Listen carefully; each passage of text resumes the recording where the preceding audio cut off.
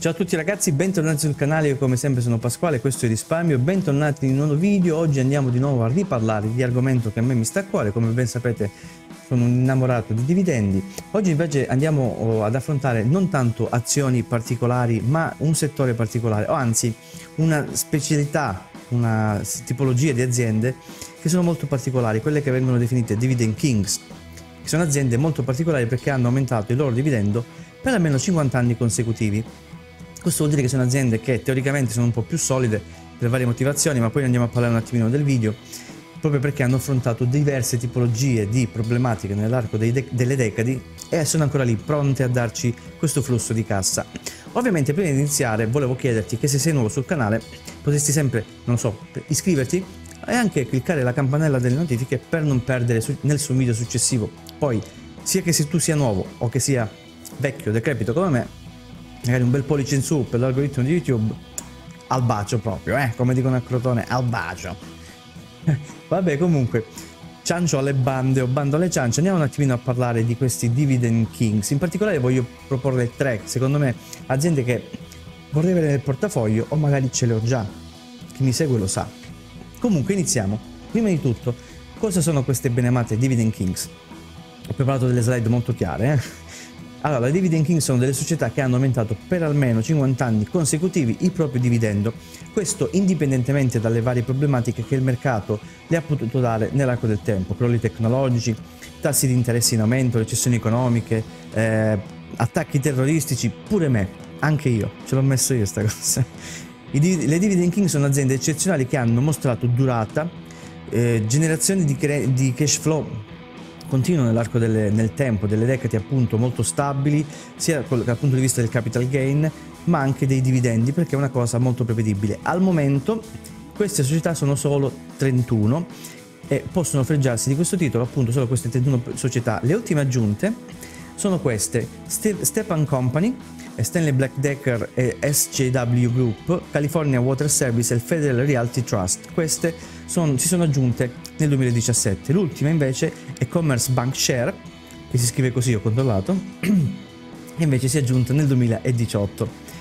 Come analizzarle però? Perché uno dice mm, sono dividend kings, saranno sicure. No, perché ci sono anche dividend kings e mo molte volte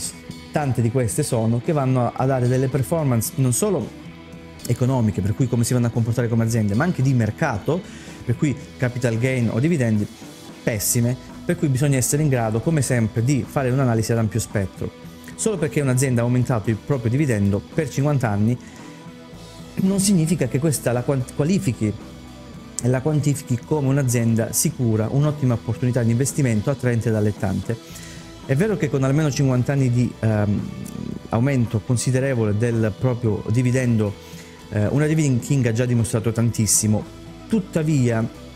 bisogna comunque, come in ogni azienda, considerare che il mondo è mutevole, per cui nell'arco del tempo quello che adesso potrebbe essere un vantaggio competitivo potrebbe non esserlo in futuro. Un settore che è proficuo adesso, fra dieci anni potrebbe essere un settore perdente, per varie motivazioni, magari aumenta la tecnologia, avanza con delle nuove soluzioni che vanno a rendere obsolete quelle aziende. Anche una evoluzione delle preferenze dei consumatori che potrebbero preferire alcuni prodotti rispetto ad altri nel futuro, una saturazione dei mercati magari per la troppa concorrenza o per la, troppa, mh, per la poca domanda rispetto a quello che è la eh, opportuna eh, diciamo, mh, possibilità di avere quei beni di consumo o di altro tipo sul mercato. E anche magari l'emergere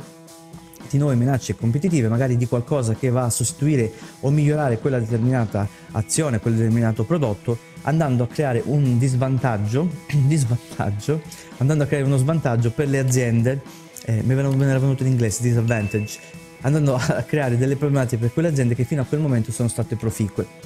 Poi un passo primario, secondo me, come tutte le azioni, è capire il settore, chiederci come questi cambiamenti sociali e di mercato potrebbero o possono già impattare quella determinata azienda. Eh, quello che sta facendo ora potrebbe rendere ed essere proficuo, ed essere necessario per i prossimi 10 anni, 20 anni, 30 anni, 50 anni? Quel settore può andare in difficoltà oppure no?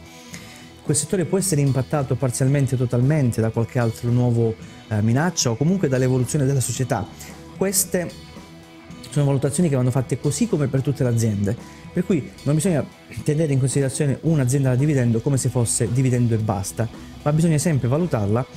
come azienda, come business. Poi se siamo a nostro agio con i propri vantaggi competitivi di quell'azienda, possiamo a quel punto andare magari ad approfondire tutta quella che è la parte finanziaria. In poche parole vogliamo investire in aziende che non siano viste, come dicevo prima, da dividendo e basta, ma che appunto siano aziende solide che ci possono anche fornire un capital gain nel lungo periodo, per cui quel dividendo è semplicemente un surplus che si va ad aggiungere al capital gain. Per cui aziende che possono darci dei bilanci solidi, eh, degli utili eh, che vanno ad aumentare nel tempo, un payout ratio basso solitamente eh, al di sotto della media magari più preferibile proprio perché le aziende se continuano ad aumentare piano piano il proprio dividendo non possiamo aspettarci che ci diano un payout ratio magari del 90% come possono essere i REITs, ma devono essere andate ad inquadrare come aziende molto più particolari, solide, eh, come quasi se fossero uh, le vecchie obbligazioni, non so, dei titoli americani in cui uno dice ci guadagno poco, ma comunque ci guadagno. Quali sono le aziende che in questo momento uh, sono dividend king? Le vediamo qui, sono queste 31, eh, la lista poi magari se volete vi lascio un file excel qui sotto che potete andare a, a scaricare. Comunque sono queste aziende queste 31 come si può vedere c'è, di tutto financial services consumer defensive utilities industrials real estate i REIT che mi piacciono tanto eh, consumer cyclical healthcare c'è un po' di tutto. Ovviamente non ho inserito questa lista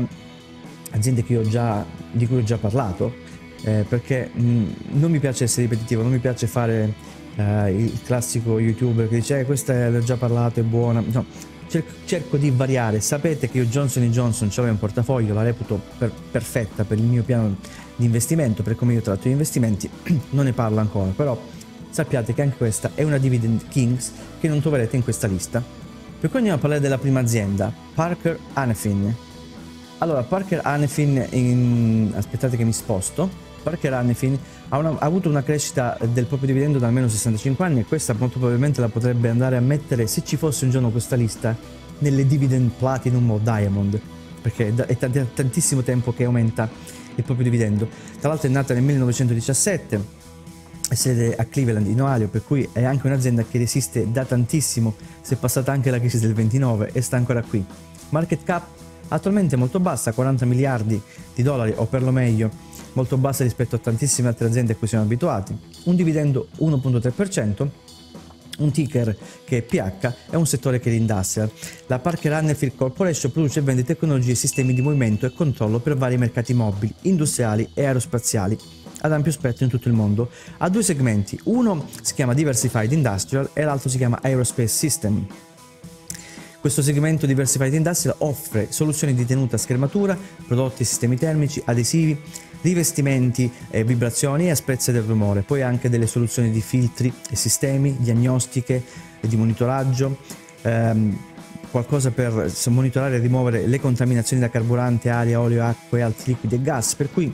va a, a diciamo, orientarsi a quel settore industriale che è un po' più ad ampio spettro perché copre tanti, tantissime tipologie di mercati, mentre il settore aerospace in system è quello un po' più ad alta precisione, dove magari i prodotti costano di più, dove magari ci sono anche dei profitti maggiori, perché si occupa appunto di creare prodotti per l'uso di programmi di cellula, motori commerciali e militari, sistemi e componenti di azionamento e controllo, controlli del cumulo del motore, ugelli, assemblaggi di gas di scarico di motore, per cui componentistica di precisione che ha bisogno di, appunto, di essere talmente preciso e talmente sicuro da essere utilizzato in sistemi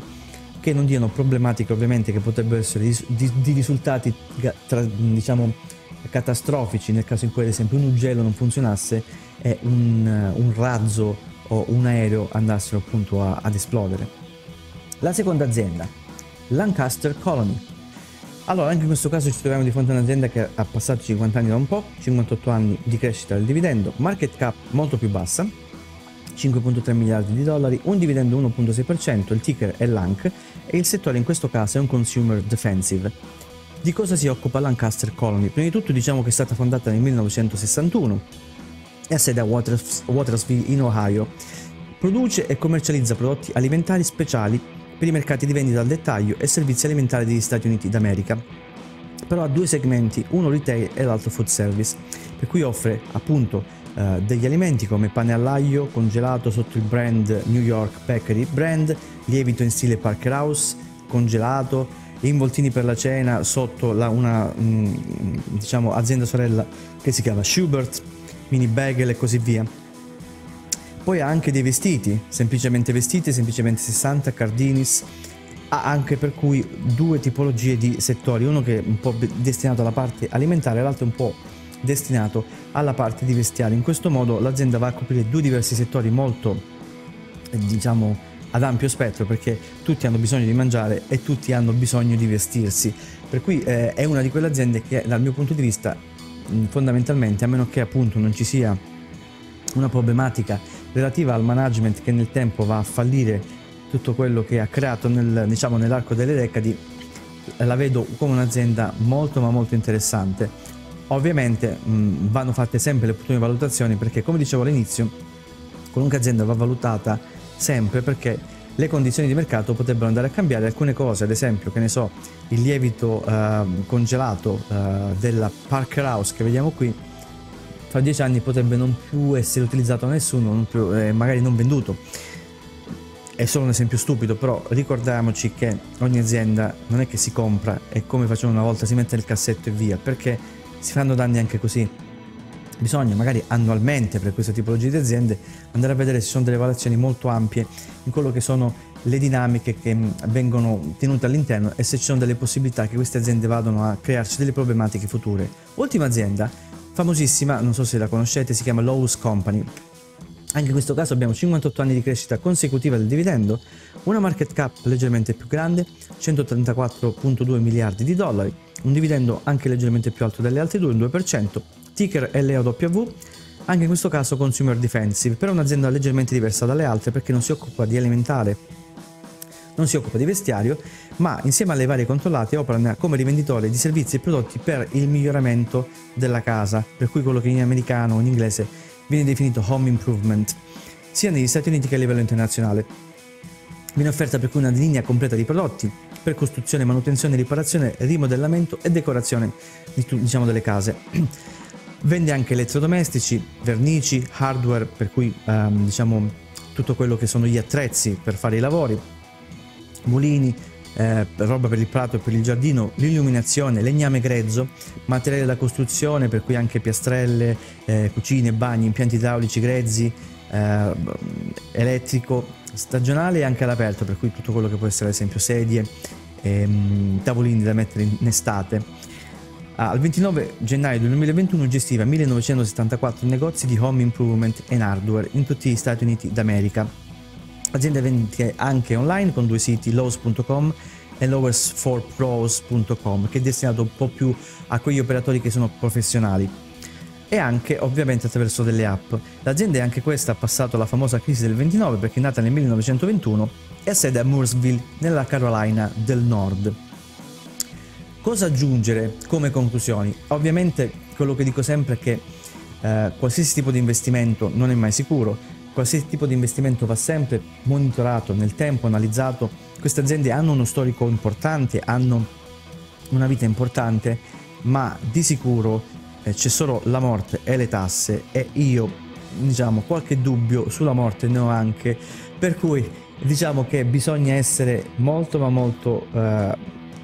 riflessivi su quello che si fa, analizzare le aziende continuamente, eh, fare in modo che le aziende non siano mh, de- dei foglietti da mettere nel cassetto, ma siano appunto delle cose che fanno parte della nostra vita. Gli investimenti io li considero sempre come se fossi un azionista di quell'azienda e credo che ognuno di noi se va a comprare qualcosa non direbbe mai lo comprano tutti, lo compro anch'io Immaginate andare a prendere la pizza in un negozio perché ci vanno tutti e dopo la prima volta scoprite che non sia buona, continuereste ad andarci? No. Immaginate poi a farlo con delle aziende in cui se fate le scelte che non sono giuste o comunque se le aziende nel tempo vanno a, a dare delle performance negative andreste a perdere i vostri soldi e ne abbiamo parlato anche nella live dell'altro giorno in cui parlavo dei bias endowment effect che magari vi lascio qui da qualche parte molto interessante su quali siano le problematiche che ci fanno legale a delle azioni in maniera diciamo emotiva senza farci più ragionare su quello che è l'effettiva possibilità che abbiamo nel gestire quelle aziende. Comunque ragazzi spero che questo contenuto sulle Dividend King sia stato di interesse. Fatemi sapere se volete che vi lasci il file, il link del, del file qui sotto in descrizione, ve lo lascio tranquillamente, non è un problema. Ovviamente se il video è di stato di gradimento un pollice in su,